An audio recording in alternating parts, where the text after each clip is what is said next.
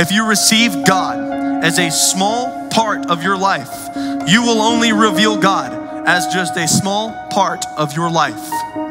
If you receive God as a small, weak, can't really handle fears and anxieties and depressions, you will reveal God as a small, weak God who can't really handle anxiety, depression, and fear.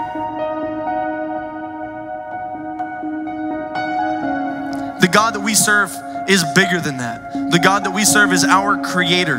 The God that we serve is light, not darkness, and that is darkness.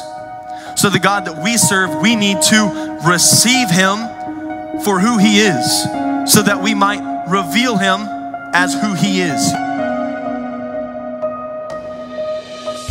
If you receive God as your healer, and I'm gonna try to get through this without crying at all, all right? So get with me here.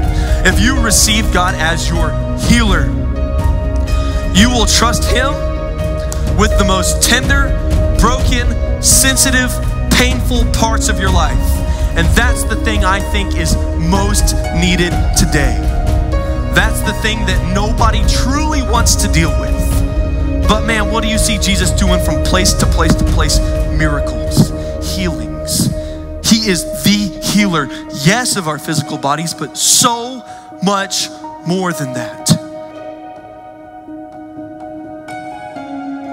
Reveal him as your healer in your life.